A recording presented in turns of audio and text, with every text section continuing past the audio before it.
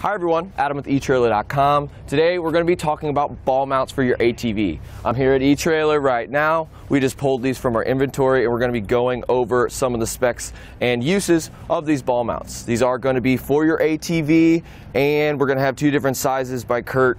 We're going to have an inch and 7 eighths and also a 2 inch as well. The difference between these is pretty much if you already have a hitch on your side-by-side or four-wheeler, all you need to do is grab this mount here. But if you have no hitch receiver on it, we can get this uh, clevis sleeve here, and that's just going to bolt on with the included hardware, and that's going to act as your ball mount as well. It has some safety chains here too. So we're going to go ahead and go out on the prop and go ahead and put it on our side-by-side -side and see how they work. All right, so we're out on the property. We have our Ranger here. And since we already have a two inch hitch receiver, we don't need the clevis sleeve that comes with it, but every single kit that we're showing you today will come with the two inch shank ball. We're gonna use the two inch and of course just slide it in. And it does come with the pin and clip. So this is the two inch ball and it's going to have a nice powder coated finish so it's going to resist against rust and corrosion but it is going to give you a significant rise as well.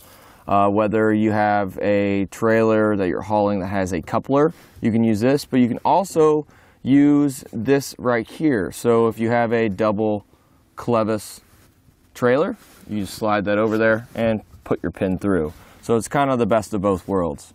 So one thing you guys do need to know is that it does not come with a clevis pin. And so you can pick some of those up at eTrailer.com. It's basically just a pin, a little bit thicker, and some of them have more options with holes and everything. So I just grab one of these off of one of my other equipment here. But if you don't have one, pick one up at eTrailer.com. I'm using this type of trailer now. It's a double clevis. Uh, I'm doing a lot of work here at the property, so let's just see how it handles up.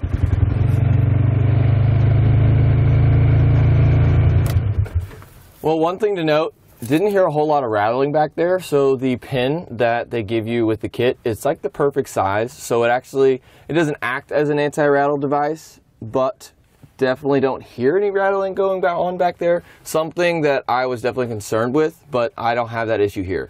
So that's definitely a thumbs up for me.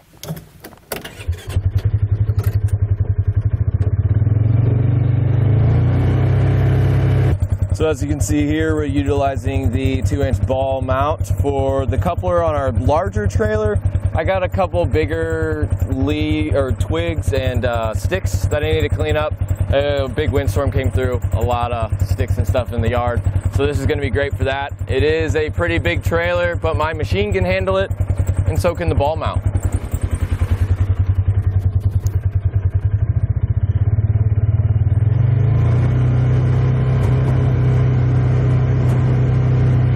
So if you don't have a two inch hitch on your machine and you just have a clevis right here, I would suggest grabbing one of the full kits. So what, with, what we're gonna get with this kit is obviously our ball mount, but we're gonna get this converter. And basically that's just going to go over this hole here and we're gonna thread it down with our included hardware.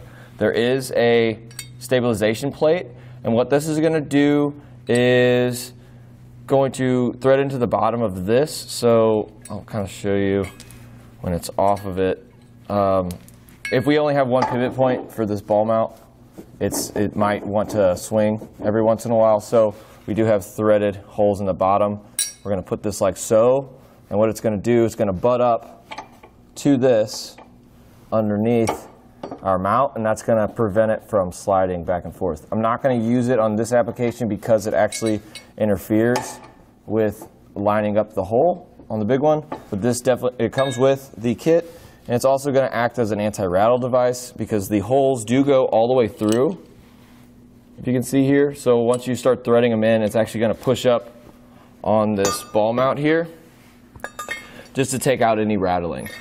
But for today, we're going to take our big bolt, our lock washer, and our nut, and get her secured down. Pretty simple stuff. Put it down like that. Put your lock washer on. and throw it on your nut. I do suggest hand tightening everything as much as you can and then coming back with a wrench and finishing the job. Then you can go ahead and grab our ball mount and slide this in and we can put our pin and clip on there as well. And if you're wondering where it's at, it's actually inside here. We gotta take this sticker off. And we're gonna have everything we need.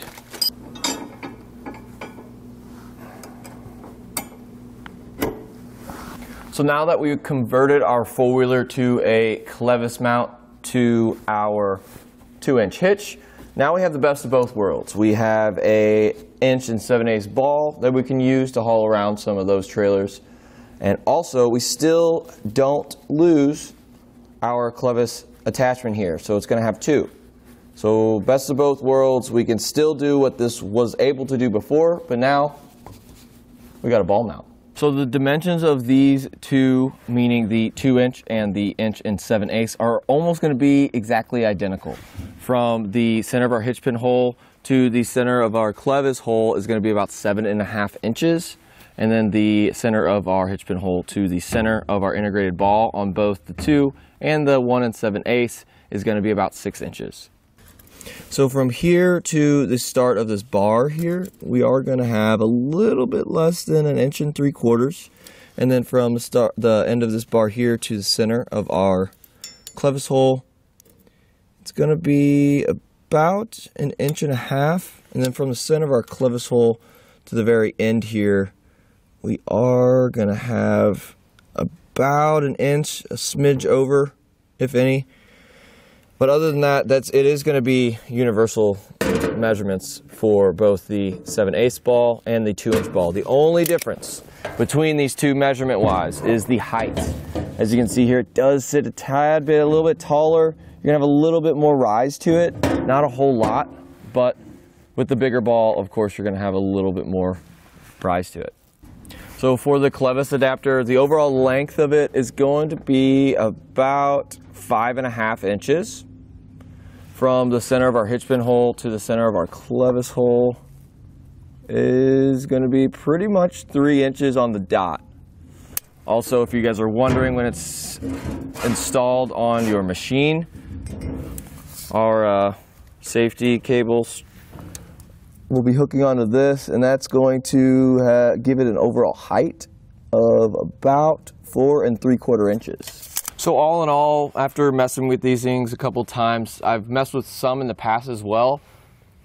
Really nothing special stood out to me on any of them. They get the job done, and that's pretty much all I'm really looking for. So I would definitely recommend grabbing something like this for your side-by-side -side or ATV, just so it can do more.